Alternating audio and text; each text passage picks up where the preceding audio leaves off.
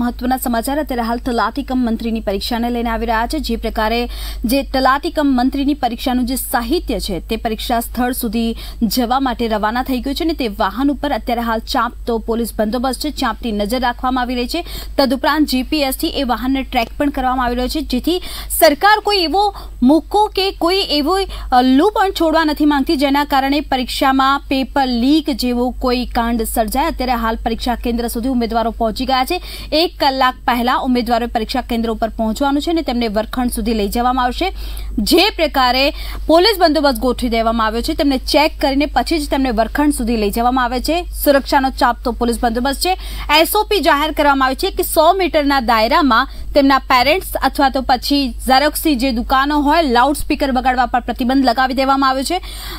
આ જે પરીક્ષા છે, તે તંત્ર માટે પણ કોઈ અગ્નિ પરીક્ષાથી ઓછી નથી. કારણ કે તેમની ઉપર પણ ઘણી બધી જવાબદારી છે ને આ જે જવાબદારી છે, તે જેમના સિરે છે, તે હસમુખ પટેલ છે. જે પ્રકારે કહેવામાં આવી રહ્યું છે કે આજે પરીક્ષા એક વાગે ત્રીસ મિનિટે પૂર્ણ થશે, ત્યાર પછી સરકારને હશકારો થશે. અલગ અલગ જગ્યાથી ગુજરાતના અલગ અલગ જગ્યા ઉપરથી અત્યારે હાલ ઉમેદવારો પરીક્ષા કેન્દ્ર સુધી પહોંચી ગયા છે અને પરીક્ષા આપવા માટે સજ્જ થઈ ગયા છે.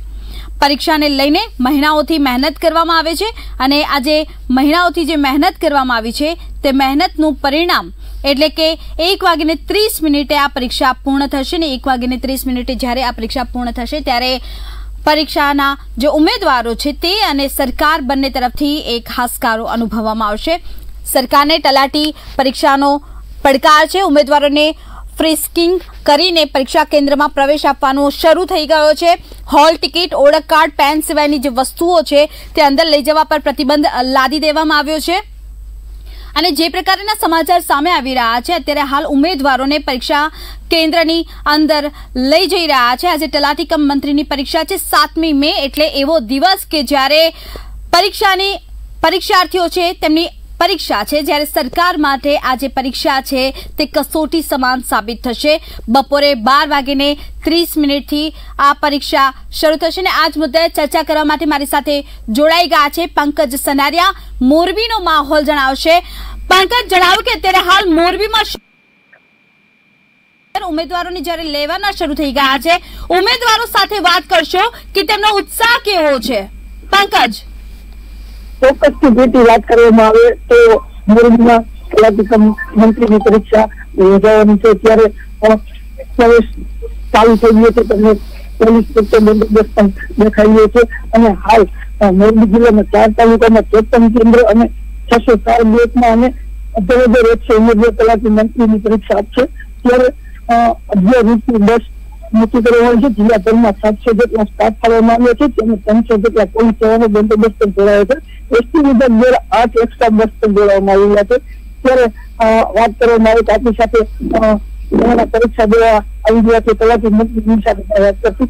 શું નામ છે તમારું? મારું નામ અભય છે. તલાટી મંત્રીની પરીક્ષા યોજાવાની છે આજે. તો સરકાર દ્વારા પણ ઘણી માહિતી આપી છે. શ્રી હસમુખ પટેલ સાહેબ દ્વારા પણ ઘણી માહિતી આપવામાં આવી છે. જો વાત કરવામાં આવે તો વારંવાર પણ બનાવ બને છે. આવા બનાવ બને છે. અને ઘણી ઘણા ટાઈમ મહેનત હોય છે લોકોના વિદ્યાર્થીની. આવું કેમ થાય છે શું કામ થાય છે? અને આવી જાજી બધી મહેનત કરવા છતાં આવું થાય તો એ શું કહેશું તમે? જી પંકજભાઈ વિદ્યાર્થીઓ ત્રણથી ચાર વર્ષથી મહેનત કરતા હોય એના કેન્દ્ર ઘણા ટાઈમથી ફાળવવામાં આવતા હોય, દૂર દૂરથી બસો ચારસો કિલોમીટર કેન્દ્ર ફાળવવામાં આવતા હોય. તો વિદ્યાર્થી હેરાન હોય. પણ આમાં બેદરકારી જોઈએ તો સરકારની ન કહેવાય, પણ જો જે અંદર વસેલા હોય, જે માહિતી કર્મચારીઓ તો એ પેપર ફૂટવાથી વિદ્યાર્થીને ઘણું નુકસાન થતું હોય. વાલીની વેદના તૂટતી હોય, વિદ્યાર્થીનું દિલ અંદરથી તૂટતું હોય. જે ચારસો, ત્રણસો કિલોમીટર કાપીને આવતા હોય. અને જાણીએ તો કે વિદ્યાર્થીઓ ત્રણથી ચાર વર્ષ ત્યાં મહેનત કરતા હોય રાત ને દિવસ એનો પીજી નો ખર્ચો જે બહાર રહેતા હોય, વિદ્યાર્થીઓ એનો ખર્ચો બહુ હોય. છ થી સાત હજાર તો મિનિમમ ખર્ચો હોય. અને ક્લાસ ના અલગ હોય તો તેને મહિને અગિયારથી બાર હજાર જેવો ખર્ચો થતો હોય. અને વાલીની વેદના પણ અંદરથી તૂટી જતી હોય. પરીક્ષા આપતી કરી. વાલીની વેદના હોય અને આપણા અકાળની મહેનત પણ હોય છે અલગ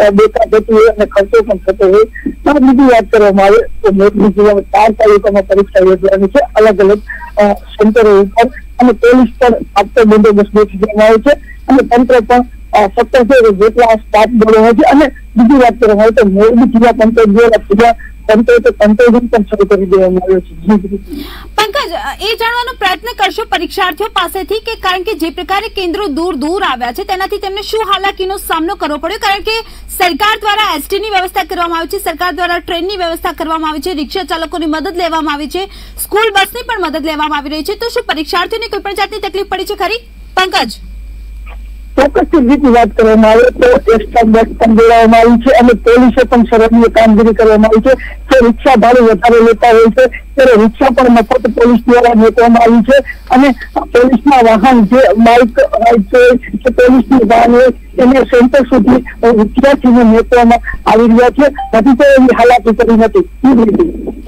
પંકજ સુરક્ષાનો માહોલ બતાવશો કે સુરક્ષાનો માહોલ કેવા પ્રકારનો છે? બોડી વોર્ન કેમેરાથી સુરક્ષા કર્મચારીઓ સજ્જ હશે.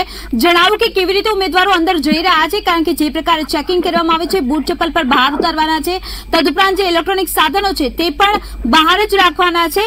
માહોલ જણાવશો અને સુરક્ષાના માહોલ વિશે જણાવશો કે અત્યારે હાલ ત્યાં કેવો માહોલ છે? બોડી વોર્ન કેમેરાથી ત્યાં નજર રાખવામાં આવી રહી છે.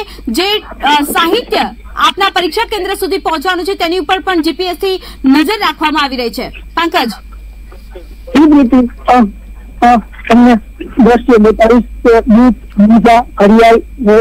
તમામ તમામ મારકાજી અને રાખી દેવામાં આવે છે પોલીસ દ્વારા પણ ચેકિંગ ચાલુ છે અને પોલીસના જે બેબી ઓન કેમેરા છે એ પણ ચાલુ કરી દેવામાં આવ્યા છે. અને કોઈ અનુચ્છેદ બનાવવા બદલ પોલીસ બંદોબસ્ત ગોઠવી દેવામાં આવ્યો છે. ત્યારબાદ સ્કૂલનો કેમેરો પણ છે. ત્યાં એમની હોલ હોય આધાર કાર્ડ એમની સામે નામ બોલી અને પછી પ્રવેશ કરવા દેવામાં આવી રહ્યો છે. આભાર પંકજ સમગ્ર માહિતી બદલ. તો આ હતા પંકજ સનારિયા મોરબીથી, જેમણે જણાવ્યું કે મોરબીમાં પણ કડક માહોલ છે. શાંતિપૂર્ણ અને સૌહાર્દપૂર્ણ વાતાવરણમાં પરીક્ષા પૂર્ણ થાય તેવું બધા જ ઉમેદવારો ઈચ્છી રહ્યા છે.